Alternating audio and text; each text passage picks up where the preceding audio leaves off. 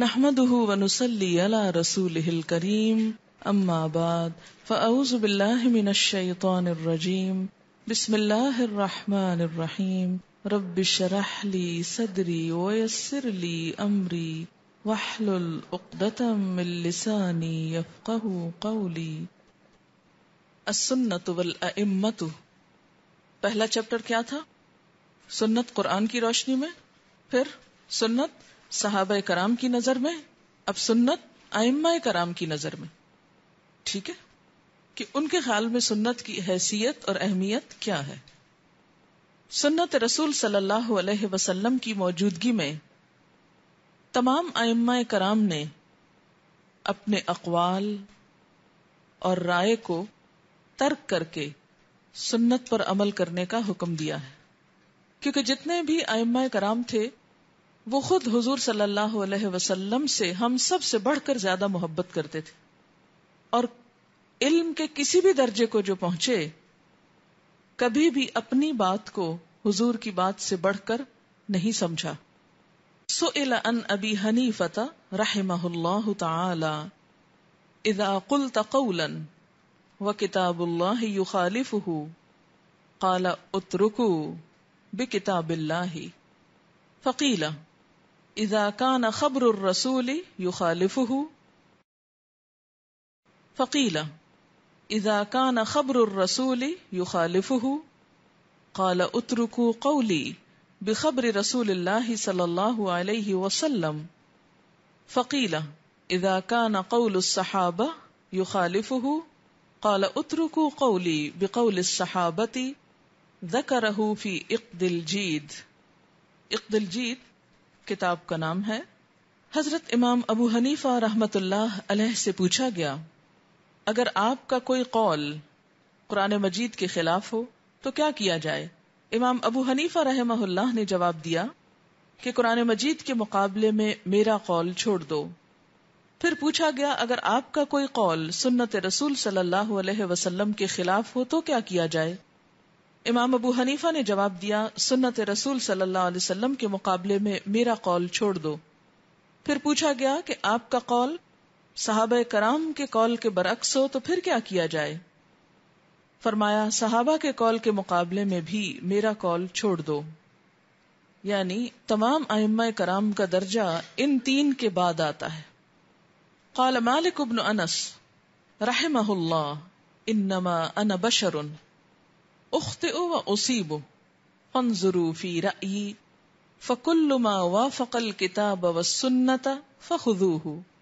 وکل ما لم يوافق فترکوه ذکرہ ابن عبد البر فی الجامع. حضرت امام مالک بن انس رضی اللہ تعالی عنہ فرماتے ہیں، بلا شبہ میں بشر ہوں یعنی انسان ہوں۔ میرا قول صحیح بھی ہو سکتا ہے، غلط بھی ہو سکتا ہے۔ لہذا میرے کال پر غور کرو۔ جو کتاب اور سنت کے مطابق ہو، اس پر عمل کرو۔ اور جو اس کے خلاف ہو، اسے چھوڑ دو۔ ابن عبد البر نے کتاب جامع بیان العلم میں اس کا ذکر کیا ہے یعنی ان کے اس کال کو نقل کیا ہے۔ ان الشافعی رحمہ اللہ انہو کان یقول، اذا وجدتم فی کتابی خلاف سنت رسول اللہ صلی اللہ علیہ وسلم فقولوا بسنت رسول اللہ صلی اللہ علیہ وسلم ودعوا ما قلت وفي رواية فاتبعوها ولا تلتفتوا إلى قول أحد ذكره ابن عساكر والنووي وابن القيم حضرت امام شافعی رحمہ اللہ فرماتے ہیں، جب تم میری کتاب میں کوئی بات سنت رسول صلی اللہ علیہ وسلم کے خلاف پاؤ، تو میری بات چھوڑ دو اور سنت کے مطابق عمل کرو۔ ایک دوسری روایت میں ہے کہ صرف سنت رسول صلی اللہ علیہ وسلم کی پیروی کرو اور کسی بھی دوسرے شخص کی بات پر توجہ نہ دو۔ ابن اساکر نووی اور ابن القیم نے اس کا ذکر کیا ہے۔ قال الامام احمد رحمہ اللہ تعالی، لا تقلدوني ولا تقلدوا مالكا ولا الشافعي ولا الاوزاعي ولا الثوري وخذ من حيث اخذوا ذكره الفلاني. امام احمد رحمہ اللہ فرماتے ہیں، نہ میری تقلید کرو، نہ امام مالک کی، نہ امام شافی کی، نہ اوزائی کی اور نہ امام سوری کی۔ جس طرح یہ مشہور چار ائمہ کرام ہے ایسے ہی کچھ اور ائمہ بھی تھے۔ ان میں سے امام اوزائی ہیں، جن کے مذہب کو شام والوں نے عام طور پر اختیار کیا اور اسی طرح امام سوری۔ بلکہ دین کے احکام وہیں سے لو جہاں سے انہوں نے لیے یعنی کتاب و سنت سے۔ فلانی نے اپنی کتاب ہمم اول الابصار میں اس کا ذکر کیا ہے۔ ان ابی حنیفہ رحمہ اللہ تعالی انہو کان یقول ایاکم والقول فی دین اللہ تعالی بالرأی وعلیکم باتباع السنتی فمن خرج عنها ضل ذکرہ فی المیزان۔ امام ابو حنیفہ رحمت اللہ علیہ فرماتے ہیں کہ لوگوں دین میں اپنی عقل سے بات کرنے سے بچو۔ دین کے معاملے میں اپنی عقل سے بات کرنے سے بچو۔ اس سے یہ مطلب نہیں کہ عقل استعمال نہ کرو۔ اس کا مطلب یہ ہے کہ جہاں ایک طرف اللہ کا حکم ہے، وہاں دوسری طرف یہ نہ کہو کیوں، اس کا فائدہ کیا ہے، اس سے ملے گا کیا، نہ کریں گے تو کیا نقصان ہوگا؟ یعنی اس کے مقابلے میں اپنی عقل کو ترجیح نہ دو۔ ابھی میں اس پر عقل اور وہی کو کمپیئر کروں گی تھوڑی دیر میں، تو چند باتیں اور آپ کے ذہن میں واضح ہوں گی۔ اور سنت رسول صلی اللہ علیہ وسلم کی پیروی کو اپنے لیے لازم کر لو۔ جو کوئی سنت سے ہٹا وہ گمراہ ہو گیا۔ کیونکہ نبی صلی اللہ علیہ وسلم نے فرمایا تھا، پیچھے آپ پڑھ چکے ہیں کہ ترک تفی کم امرئی میں تمہارے درمیان دو چیزیں چھوڑ کے جا رہا ہوں۔ لن تدلو ما تمسک تم بہما، جب تک ان دونوں کو پکڑے رکھو گے، گمراہ نہ ہوگے۔ اس کا ذکر امام شارانی نے اپنی کتاب المیزان میں کیا ہے۔ امام ابو حنیفہ رحمہ اللہ کے نزدیک حدیث پر عمل کرنا ہدایت ہے اور حدیث کے برعکس عمل کرنا گمراہی اور فساد ہے۔ ان ابی حنیفہ رحمہ اللہ تعالی انه كان يقول لم يزل الناس في صلاح ما دام فيهم من يطلب الحديث فاذا طلب العلم بلا حديث فصدوا ذكره الشعراني في الميزان امام ابو حنیفہ رحمۃ اللہ علیہ فرماتے ہیں لوگ اس وقت تک ہدایت پر قائم رہیں گے جب تک ان میں علم حدیث حاصل کرنے والے موجود رہیں گے۔ جب حدیث کے بغیر دین کا علم حاصل کیا جائے گا، تو لوگوں میں بگاڑ اور فساد پیدا ہو جائے گا۔ شارانی نے میزان میں اس کا ذکر کیا ہے۔ اس لیے کہ پھر وہی کی بجائے عقل اور رائے اور اپنی سمجھ اور پسند اور ناپسند اور خواہشات کی پیروی ہونے لگے گی۔ سنت رسول صلی اللہ علیہ وسلم کی موجودگی میں رائے دریافت کرنے والے کو امام مالک رحمہ اللہ کی فتنے میں پڑنے یا عذاب میں مبتلا ہونے کی تمبی جا رجل الى مالک رحمہ اللہ تعالی ان مسئلت فقال له۔ قال رسول اللہ صلی اللہ علیہ وسلم کذا وکذا۔ فقال الرجل ارأيت قال مالک فليحذر الذين يخالفون عن امره ان تصيبهم فتنة او يصيبهم عذاب علیم۔ ایک آدمی امام مالک کے پاس آیا اور کوئی مسئلہ دریافت کیا۔ امام مالک نے بتایا کہ اس کے بارے میں رسول اللہ صلی اللہ علیہ وسلم کا ارشاد مبارک یہ ہے۔ اس آدمی نے عرض کیا، اس بارے میں آپ کی کیا رائے ہے؟ یعنی حدیث تو یہ کہتی ہے، آپ کیا فرماتے؟ امام مالک نے جواب میں یہ آیت تلاوت فرمائی، جو رسول اللہ صلی اللہ علیہ وسلم کے حکم کی مخالفت کرتے ہیں، انہیں ڈرنا چاہیے۔ کہ وہ کسی فتنے یا دردناک عذاب میں مبتلا نہ ہو جائیں۔ یعنی جب ایک بات موجود ہے تو میری رائے کیوں پوچھتے ہو؟ سنت رسول صلی اللہ علیہ وسلم کے بارے میں امام شافی کے بعض اقوال۔ امام شافی کہتے ہیں، اجمع المسلمون علی ام من استبان له سنت ان رسول اللہ صلی اللہ علیہ وسلم۔ لم يحل له ان يدعها لقول احد ذکره ابن قیم والفلانی۔ اس بات پر تمام مسلمانوں کا اتفاق ہے کہ جس شخص کو سنت رسول صلی اللہ علیہ وسلم معلوم ہو جائے، اس کے لیے کسی آدمی کے قول کی خاطر سنت کو ترک کرنا جائز نہیں۔ ابن قیم اور فلانی نے اس کا ذکر کیا ہے۔ مثلا ہم یہ کہیں کہ فلاں سائنٹیفک ریسرچ یہ ہوئی ہے کہ ہمیں یہ کام اس طریقے سے کرنا چاہیے جبکہ نبی صلی اللہ علیہ وسلم کا قول کچھ اور کہتا ہو۔ خواہ سائنس کا کتنا بھی بڑا پروف ہو، ہم اس علم کو جو وہی الہی کی بنا پر ہے چھوڑ کر اس کی طرف توجہ نہیں کر سکتے مثال کے طور پر آپ کو معلوم ہے کہ نبی صلی اللہ علیہ وسلم نے جیسے مسواک کا ایک طریقہ بتایا یا آپ کا عمل کوٹ کیا گیا ہے کہ آپ جب مسواک کرتے تھے تو دائیں سے بائیں کرتے تھے رائٹ لیفٹ اچھا کچھ عرصہ ہوا، آپ نے دیکھا ہوگا کہ برش کو اوپر نیچے کر کے بتایا جاتا رہا کہ اگر دانتوں کی صحیح صفائی کرنی ہے تو برش کو اوپر نیچے کیا جائے۔ اچھا پھر اس کے کچھ عرصے کے بعد ایک دوبارہ یہ نظریہ آیا کہ نہیں، اس طرح مسوڑوں کو نقصان پہنچتا ہے، کیونکہ بعض اوقات اوپر نیچے کرنے سے جو برش کے دندانے یا بال ہوتے ہیں، وہ نیچے والے مسوڑوں کو یا بعض اوقات اوپر کو زخمی کرنے کا باعث بنتے ہیں۔ سیف طریقہ یہی ہے کہ دائیں سے بائیں کیا جائے۔ اب آپ دیکھیں کہ یہ ایک انسانی رائے تھی کہ اوپر نیچے کیا جائے۔ اور کچھ عرصے کے بعد جب اس کا نقصان پتا چلا تو پھر وہ پرانی رائے پہ پلٹ گئے۔ اب اگر کوئی شخص اس بیچ کے زمانے میں یہ کہے کہ نہیں، فلاں ڈاکٹر صاحب یہ کہتے ہیں کہ زیادہ بہتر ہے اوپر سے نیچے، اس لیے میں تو ڈاکٹر کی رائے مانوں گی۔ اور نبی صلی اللہ علیہ وسلم وہ تو چودہ سو سال پرانی باتیں کرتے ہیں، اس لیے اب تم پرانی باتوں سے چمٹے رہو گے۔ تو اس کو چھوڑ دے۔ تو چند دن کے بعد جب وہ دوبارہ واپس پلٹیں گے، تو پھر آپ نہ ادھر کے رہیں گے، نہ ادھر کے رہیں گے۔ ہم؟ نے ایک ڈینٹسٹ کو بلایا تھا اور مسواک کے بارے میں اور صفائی کے بارے میں باتیں کچھ کی تھی۔ تو اس میں اس کا ذکر کیا گیا۔ کچھ سلائیڈز بھی دکھائی گئی تھی تو بات یہ ہے کہ یہ معاملہ تو چھوٹا سا ہے۔ اس سے کوئی کفر نہیں ہو جائے گا کہ اگر آپ اوپر نیچے یا کوئی شخص لا علمی میں اوپر نیچے کر رہا ہے یا کسی ضرورت کے تحت کچھ اگر اندر چلا گیا ہے یا کسی علاج کے لیے وہ نیچے سے اوپر یا اوپر سے نیچے کر رہا ہے، تو اس میں گناہ یا کفر کی بات نہیں۔ لیکن ایک طرف اللہ کے رسول صلی اللہ علیہ وسلم کا طرز عمل ہو اور دوسری طرف انسان کے نہیں، فلاں اسکالر جو ہے وہ تو یہ فرماتے ہیں۔ خواہ کوئی دینی اسکالر ہو یا کوئی دنیاوی اسکالر ہو، کسی کی بھی بات کو سنت کے مقابلے میں لا کر اس کو ترجیح دینا کیا بتاتا ہے کہ ہمارے دل میں اپنے دین کا یا وہی الہی پر بیسڈ جو معلومات ہیں، ان پر نئے اعتبار ہے نئے اعتماد ہے، اور اس کے مقابلے میں دوسری رائے کو ہم زیادہ اختیار کرتے ہیں۔ اور یہ یاد رکھیے کہ اللہ کا دین جو ہے، وہ نہیں بدلتا۔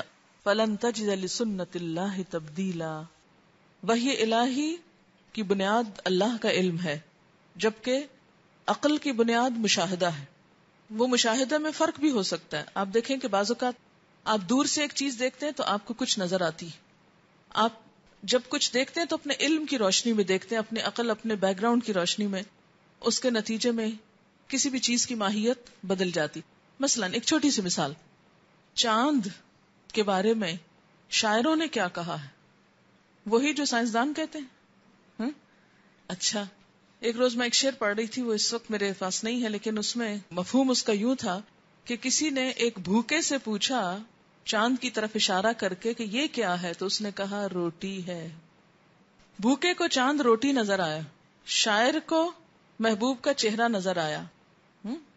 اب آپ خود سوچیں کہ ان میں سے ہر ایک اپنی جگہ سچا ہے، لیکن اس کا علم اپنے خیالات، اپنے مشاہدے، اپنی جو تھنکنگ ہے اس کے مطابق ہے۔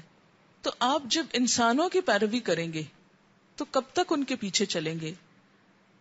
یاد رکھیے، کچھ معاملات ایسے ہیں جن کے بارے میں دین خاموش ہے۔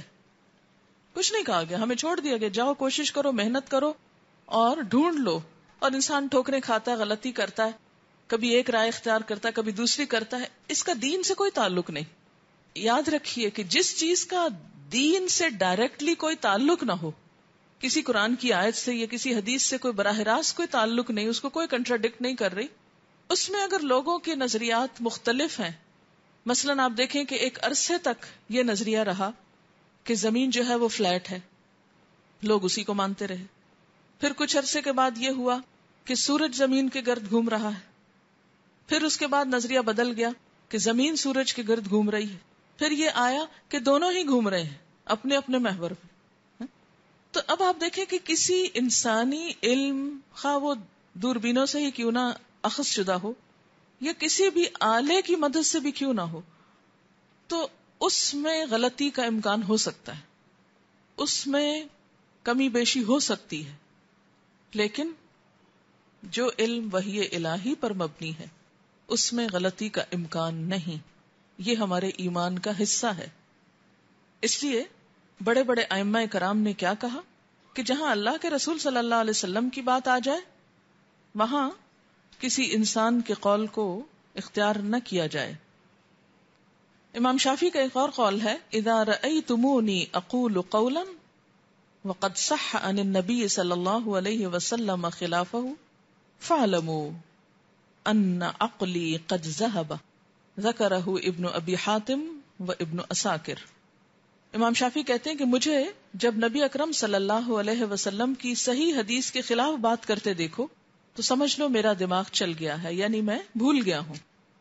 کیونکہ انسان انسان ہے نا، اس دور میں کمپیوٹر نہیں ہوتے تھے کہ ساری احادیث ایک جگہ جمع ہو اور وہ سارے کے سارے وقت انسان کے ذہن میں بھی حاضر ہوں۔ لہٰذا جب اس سے کچھ مسئلہ پوچھا جائے تو فوری طور پر ان میں سے ایک کو کلک کر کے بتا دے کہ یہ ہے اصل بات۔ بھول جاتا ہے انسان۔ بعض اوقات بعض حالات ایسے ہوتے ہیں کہ جس میں انسان بعض اوقات عمر کے تقاضے کے تحت، بعض اوقات کچھ اور وجوہات میں، کیونکہ انسان کمزور چیز ہے۔ یاد کی ہوئی چیزیں ذہن سے اتر جاتی ہیں۔ ان شافعی رحمہ اللہ انه كان يقول اذا صح الحديث فهو مذهبي وفي روايه اذا رايتم كلامي يخالف الحديث فعملوا بالحديث واضربوا بكلام الحائط ذكره في عقد الجيد حضرت امام شافی رحمہ اللہ فرماتے ہیں جب صحیح حدیث مل جائے تو وہی میرا مذہب ہے۔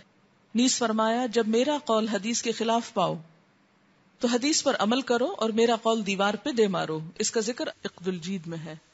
اچھا اس میں آپ دیکھیے کہ کیا جان بوجھ کے وہ کچھ حدیث کے خلاف بات کرتے تھے؟ نہیں، صرف انسانی کمی کی وجہ سے بسا اوقات وہ چیز ان کے سامنے نہیں ہوتی تھی۔ بعض اوقات ذہن سے اتر جاتی۔ یہی وجہ ہے کہ ہم دیکھتے ہیں کہ بسا اوقات بعض ائمہ کرام کے اپنے کلام میں بھی کنٹرڈکشن ہوتی۔ ایک موقع پر انہوں نے ایک بات فرمائی، پھر چند سالوں کے بعد ایک اور بات کہی، حالات بدل گئے یا کوئی وجوہات بدل گئی تو ہم دیکھتے ہیں کہ جب بعض کتابیں پڑھتے ہیں تو اس میں یہ کہتے ہیں کہ اس مسئلے میں امام شافی کی دو رائے ہیں۔ ایک رائے اس کے موافق ہے، ایک خلاف ہے۔ ابھی ایسا کیوں ہو گیا؟ کہ ایک ہی مسئلے میں ان کی دو رائے ہیں۔ بعض اوقات کیا ہوتا ہے؟ مثلا آپ نے اگر اسلامیات میں کچھ بھی پڑھا ہو، مثلا بی اے میں کدوری کا کچھ حصہ ہے، فقہ میں فک کی کوئی کتاب پڑھنے کا اتفاق ہوا ہے آپ کو کبھی؟ کسی کورس میں؟ بہرحال اگر نہیں بھی پڑھا تو میں چھوٹی سی مثال دوں گی۔ مثلا فک کی کتاب ہے قدوری۔ اس میں ہم اکثر دیکھتے ہیں اور بہت ساری مثالیں ہیں۔ اگر آپ کہیں سے بھی آپ کو قدوری مل جائے، آپ اس کو پڑھ کے دیکھ لیجیے کہ ایک ہی چیز کے بارے میں مثلا امام ابو حنیفہ ایک بات کہتے ہیں۔ اور ان کے دو شاگرد امام ابو یوسف اور امام محمد اپنے ہی استاد کے برعکس کچھ اور کہہ رہے ہوتے ہیں، کیونکہ ان کا دور بعد میں ہے، ان کا پہلے ہے۔ تو اس سے نوز باللہ نہ تو کوئی احترام کے خلاف ہے، نہ کسی کی ناقدری ہے، نہ کسی کی توہین ہے، نہ کسی کو کہیں مورد الزام ٹھہرانا ہے۔ یہ کیا ہے مجتہد کی کوششیں۔ جتنے بھی ائمہ مجتہدین ہیں، ان سب کے لیے اللہ کے ہاں اجر ہے، کیونکہ انہوں نے دین میں بہت محنت کی، بہت تکلیفیں اٹھائیں۔ لیکن کسی کی بھی بات فائنل نہیں اور کسی کی بھی بات کو یہ سمجھنا کہ اس کے علاوہ کہیں اور حق نہیں، یہ دین میں تنگی پیدا کرنا ہے اور اس سے بسا اوقات اختلافات کے ایسے دروازے کھل جاتے ہیں کہ اصل دین پیچھے چلا جاتا ہے اور یہ بحثیں چھا جاتی ہیں اور اس کی وجہ سے دین کی روح متاثر ہوتی ہے۔ امام احمد بن حنبل رحمہ اللہ کسی آدمی کے قول کی خاطر سنت رسول صلی اللہ علیہ وسلم کو ترک کرنا ہلاکت کا باعث سمجھتے تھے۔ قال الامام احمد رحمہ اللہ تعالی، من رد حدیث رسول اللہ صلی اللہ علیہ وسلم، فہو علی شفا حلقت ذکرہ ابن الجوزی۔ امام احمد رحمہ اللہ فرماتے ہیں، جس نے رسول اللہ صلی اللہ علیہ وسلم کی حدیث کو رد کر دیا، وہ ہلاکت کے کنارے پر کھڑا ہے۔ اس کا ذکر ابن الجوزی نے کیا۔ وقال رأی الاوزاعی ورأی مالک ورأی ابی حنیفتا کلہ رأیون وہو اندی سواء و انم الحجت فی الاثار ذکرہ ابن عبد البر فی الجامع.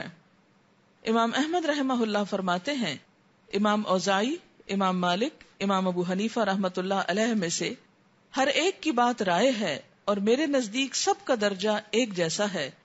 حجت صرف سنت رسول صلی اللہ علیہ وسلم ہے۔ ابن عبد البر نے جامع میں اس کا ذکر کیا ہے۔ سنت علماء کرام کی نظر میں، عام علماء۔ اور ان میں صرف یہاں بر صغیر پاک و ہند کے ایک دو علماء کو کوٹ کر کے پھر آگے بات چلے گی۔ سنت پر عمل کیوں ضروری ہے؟ اس کی کیا اہمیت ہے؟ اس کے بارے میں مولانا محمود الحسن صاحب جنہوں نے قرآن پاک کا ترجمہ بھی لکھا ہے، یہ دیوبند کے عالم ہیں۔ یہ ایک کتاب ہے، احسن القرا اس کے پیج 147 پر لکھتے ہیں، کلام صحابی اگر مخالف حدیث ہو اور تعویل کی بھی گنجائش نہ ہو، تو اس کو ترک کرنا چاہیے۔ اور فعل رسول صلی اللہ علیہ وسلم کو اپنا مذہب قرار دینا چاہیے۔ یعنی جب آپ صلی اللہ علیہ وسلم کا کوئی عمل سامنے آئے اور دوسری طرف کسی صحابی کا کوئی قول آئے، تو دونوں میں سے کس کو ترجیح دینی چاہیے؟ نبی صلی اللہ علیہ وسلم کے عمل کو۔ مولانا مرتضی حسن صاحب یہ بھی دیوبند کے عالم ہیں، یہ فرماتے ہیں کہ نبی مقتدا اور متا ہو کر آتا ہے۔ مقتدا یعنی جس کی اقتدا کی جائے اور جس کی اطاعت کی جائے۔ کیونکہ قرآن پاک میں اللہ تعالیٰ فرماتے ہیں، وما ارسلنا من رسول الا لیطاع باذن اللہ ہم نے کوئی رسول نہیں بھیجا، مگر اس لیے کہ اللہ کے اذن کے ساتھ اس کی اطاعت کی جائے۔ ہم نے کوئی رسول جو بھیجا، کس لیے بھیجا؟ کہ اللہ کے اذن کے ساتھ اس کی اطاعت کی جائے۔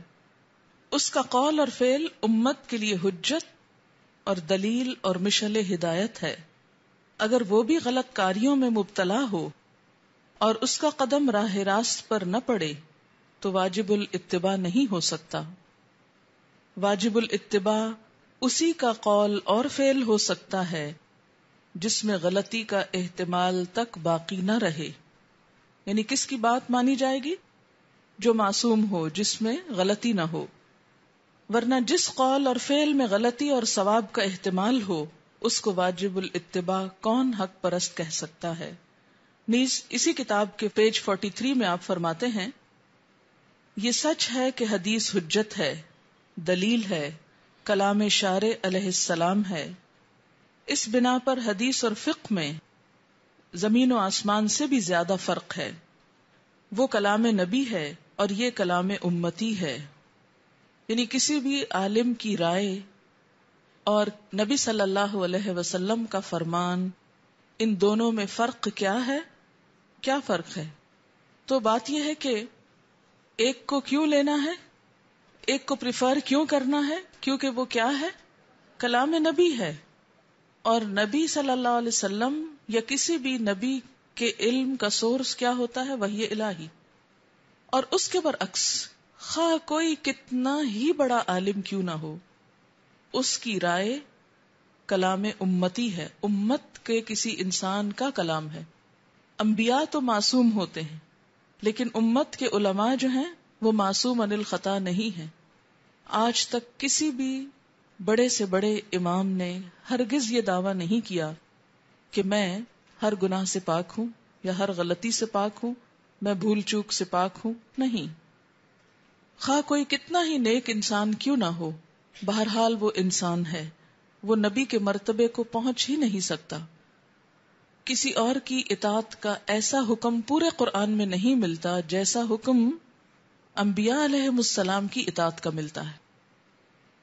مولانا مفتی کفایت اللہ صاحب، جن کی یہ کتاب تعلیم الاسلام بہت مشہور چھوٹا سا رسالہ ہے، یہ کہتے ہیں، خدائے وجل کے کلام بلاغت اور احادیث سے اچھی طرح واضح ہے کہ اہل اسلام کا اولین فرض یہی ہے کہ کتاب اللہ اور سنت رسول اللہ صلی اللہ علیہ وسلم کو اپنے تمام اعمال اور افعال میں پیش نظر رکھیں اور انہی کو اپنا حقیقی رہبر و رہنما سمجھے اور اپنی نجات اخروی اور حیات ابدی کو انہی کے اتباع میں منحصر جانے پھر رسول اللہ صلی اللہ علیہ وسلم نے دین اور شریعت کے متعلق ہمیں ایسی کامل اور مکمل تعلیم دی جس کی نظیر صفحات تاریخ میں نہیں مل سکتی۔